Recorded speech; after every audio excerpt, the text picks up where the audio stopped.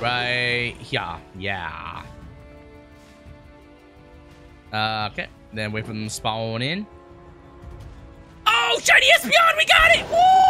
We got shiny Espeon! Let's go! We got the green psychic cat! Let's go! Shiny Espeon, so quick! So quick! I am the shiny hunting god, ladies and gentlemen! Yo! That was so quick. I am the shiny hunting god. Go to sleep, Espeon. Go to sleep.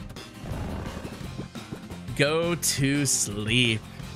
Yo, it looks beautiful. I can see why this is one of Dark Kiss's favorite shinies.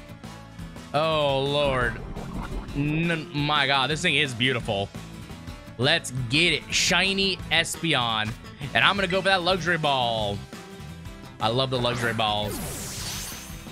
Come on. Yes, we had got the shiny Espeon. Let me catch it now. That was so quick. That was incredibly fast, honestly. Get in here. Get in this ball. Boom. Come on. Stay in the ball. Come on. It's asleep. It's fast asleep.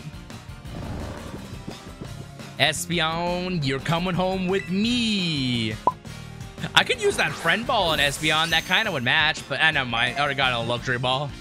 Yo, shiny Espeon. This used to be one of, it still is one of my favorite evolutions. Before Sylveon came around, this was the most powerful one in my opinion. Espeon was the most powerful in my opinion before um, Sylveon came around. It still is really strong, but Sylveon's pretty powerful as well. But yo, let's go, guys. Shiny Espeon for Scarlet and Violet collection, everybody.